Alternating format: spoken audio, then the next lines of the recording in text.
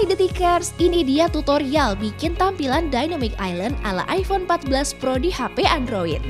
Install aplikasi Edgemask di Google Play Store, lalu berikan tiga perizinan aplikasi di opsi Apps that can appear on top, sampai warna merah menghilang. Lalu pilih Message di bagian efek, lalu pilih Samsung Message Style dan nonaktifkan efek lain.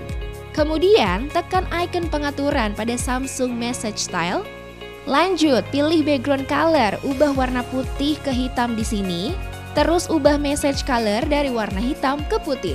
Habis itu, aktifkan margin di bagian bawah pengaturan. Setelah itu, tinggal atur aja ukuran vertikal dan size, sesuaikan dengan letak punch hole.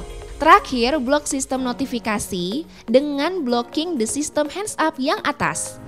Setelah itu, notifikasinya akan muncul seperti Dynamic Island. Fitur ini hanya berlaku untuk notifikasi pesan ya detikers.